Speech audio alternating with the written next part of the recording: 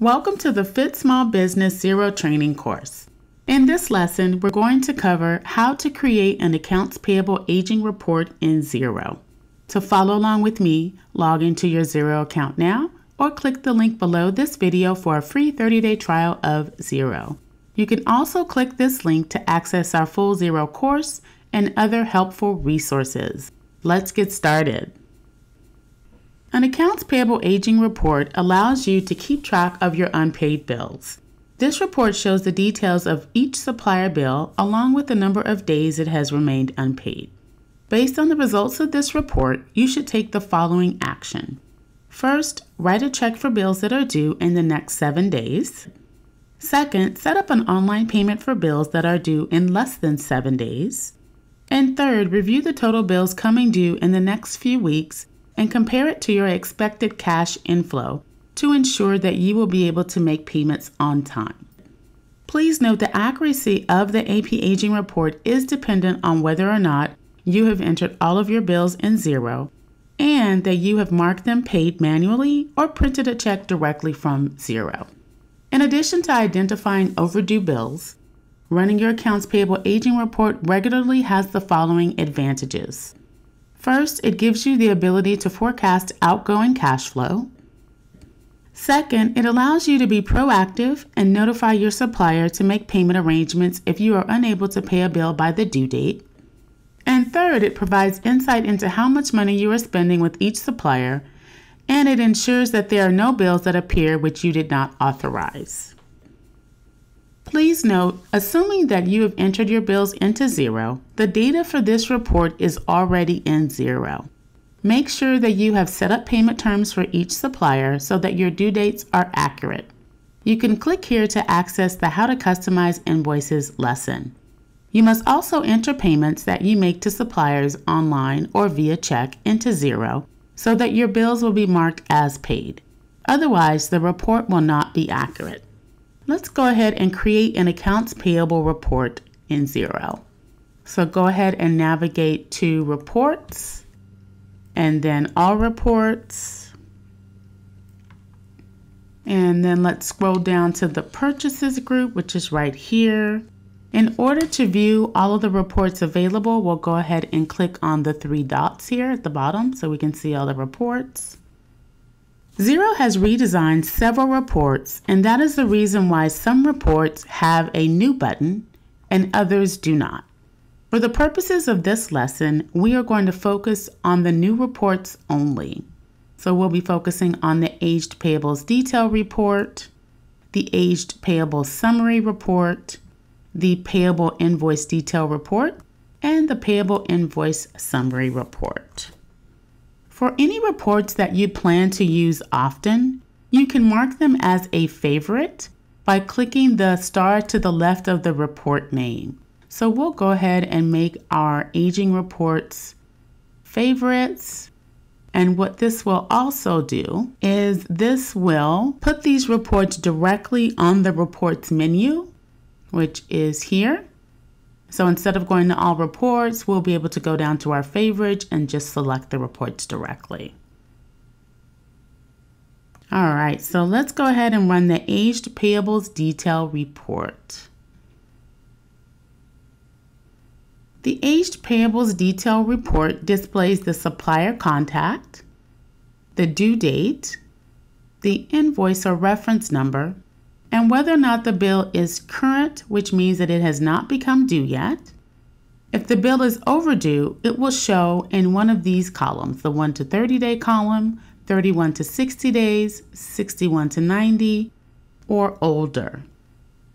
As we discussed previously, you can use this report to determine what bills need to be paid, as well as to ensure you have enough cash flow to cover the bills coming due. Please note that you can easily drill down on a specific invoice by clicking anywhere in the invoice row. And it takes us directly to that invoice. Now let's take a look at our Aged Payables Summary Report. This report is a summarized version of the previous report, the Aged Payables Details Report. It shows the total of all bills that are current or past due for each supplier contact as well as outstanding expense claims. This report is helpful if you want to view your total outstanding bills at a quick glance. Please note that if you want to see the details of a bill, you can simply click on any of these totals in the report to drill down to the bills that make up the total amount. The next report that we want to take a look at is the Payable Invoice Detail Report. The Payable Invoice Detail Report shows the line by line details of all outstanding bills, credit notes, overpayments, and prepayments as of a point in time. Run this report when you want to see the details of multiple bills without having to display them one by one. Please note to drill down on a bill or credit note. Similar to the previous report, you can actually click anywhere on the row of the transaction that you wish to see more details for. Last but not least, let's take a look at our payable invoice summary report. This report is a summarized version of the payables invoice detail report that we just looked at.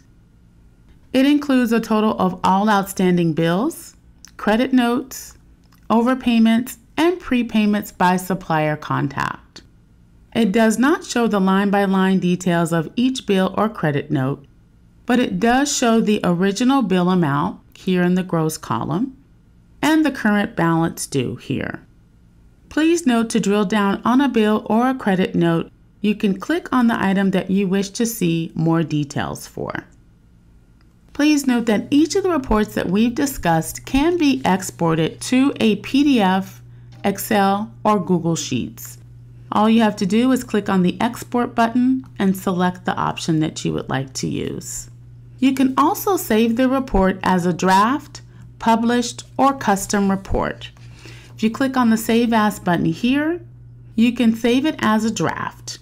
The draft option allows you to create a report that you or someone else can make changes to later on. You might create several draft reports before you are ready to publish them. The published report is used to save reports when you are finalizing the books for the month or the year. A published report will not change if for some reason the information in the system has been changed or updated in some way.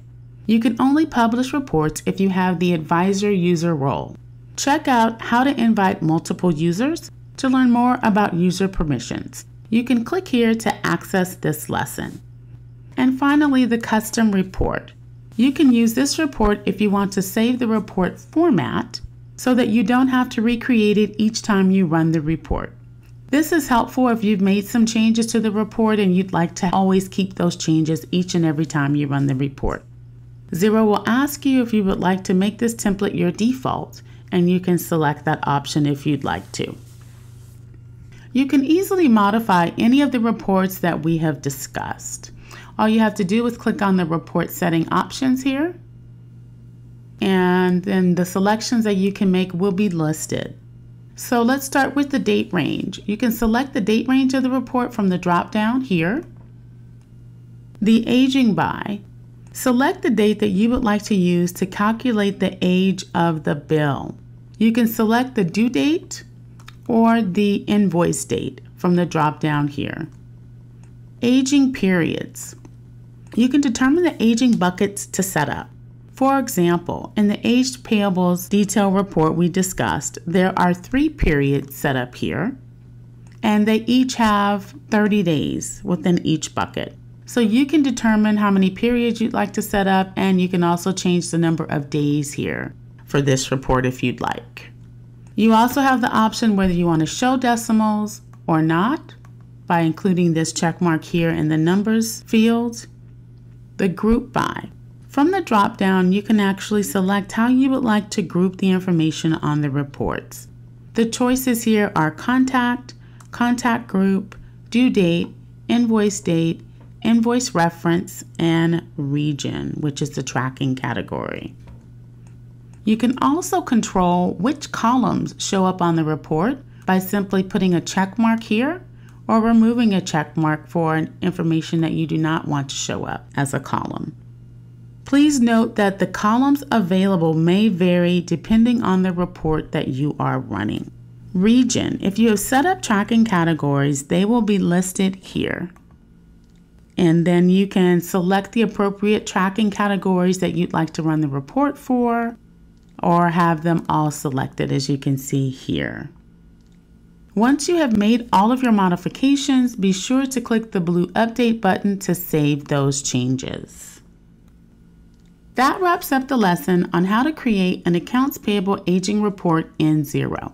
To access our full Xero course or any of the other lessons in this series, click this link. You can also find a link below this video for a free 30-day trial of Xero. If you have feedback about this course or if you have any questions, please leave a comment below. Also, don't forget to subscribe.